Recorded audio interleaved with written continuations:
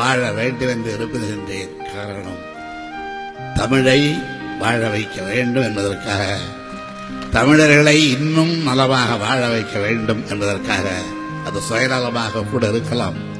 இந்த சுயநலத்தை விரும்பாத ஒரு தாய்நாட்டு பற்று கொண்டவன் தாய்மொழி பற்று கொண்டவன் யாரும் இருக்க முடியாது. அந்த வகையில் நான் சொல்லியிருந்தேன் என்னுடைய புராணத்திலே ஐதீகத்திலே நம்புவதைப் போல என்னுடைய உயிரை யமன் பறித்துவிட முடியும் நான் கருதவில்லை.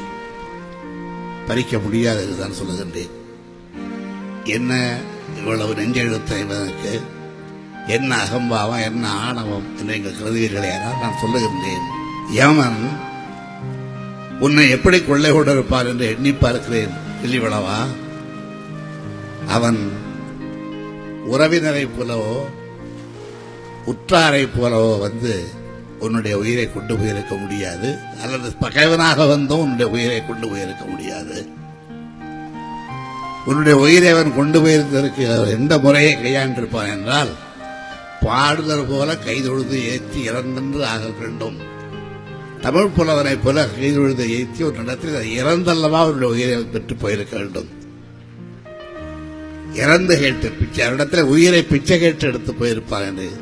எப்பொழுது அந்த பிச்சையை கொடுத்தானாம் தமிழுக்காக தமிழ் புலவருக்காக அந்த பிச்சையை கொடுத்தார். உயிரையே கொடுத்தார் என்றால் அப்படி உயிரை கொடுக்கிற ஒரு காலம் வரை நேரத்திலே கொடுப்பேன் அல்லாமல் வேறு யாருக்கும் தரமாட்டேன். அந்த உயிர் நிச்சயமாக நீங்கள் எண்ணுகிறபடி நூறாண்டுக்கு மேலும் இருக்கும். அதற்குள்ளே கொடுக்க வேண்டும் என்றால் அது தமிழுக்காக தமிழருக்காக தமிழ்நாட்டுக்காக தமிழ் கலைக்காக தமிழ் பண்பாட்டுக்காக தமிழ் இலக்கியத்திற்காகத்தான்.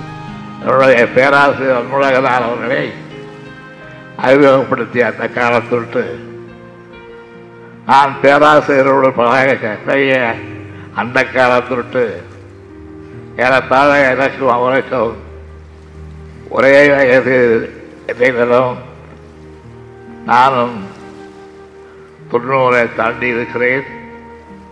பேராசிரியர் தொண்ணூறை தாண்டி இருக்கிறார். நாங்கள் இருவரும் தொண்ணூறை தாண்டி இருக்கிற இந்த நேரத்தில் எங்களுடைய நம்பிக்கை எல்லாம் நாங்கள் நூறை தாண்டுவோம் நூற்றி இருபதை தாண்டுவோம் என்றாங்க அப்படி நீங்கள் கைதட்டுகிறீர்களால் நானோ நீங்களோ ஏமாந்து போக நேரும் அதல்ல நாங்கள் இருக்கிற வரையில் இன்னும் பத்து ஆண்டோ பதினைந்து ஆண்டோ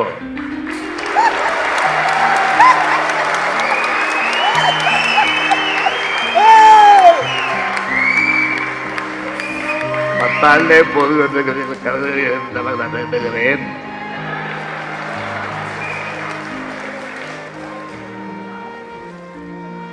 அதுவரையில் நாங்கள் உருவாக்க உணர்வுடைய உழைப்பின் மகிமையால் அதை பயன்படுத்தி நாங்கள் உருவாக்குகிற எழுச்சியும் வலியும் திராவிட முன்னேற்ற கழகத்திற்கான வளர்ச்சியும் திராவிட இயக்கத்திற்கான வளர்ச்சியும் தந்தை பெரியாரால் உருவாக்கப்பட்ட சுயமரியாத இயக்கத்திற்கான செய்யும். இங்கே மேலும் மேலும் வலுப்பெற்று நாங்கெல்லாம் பெரியாரின் பிள்ளைகள் அண்ணாவின் தம்பிகள் என்ற சி- அழகை மனிதத்தை கொண்டால் போதாது. உள்ளபடியே அப்படியே நாம் இந்த இயக்கத்தை இழப்பதற்கு பாடுபட வேண்டும்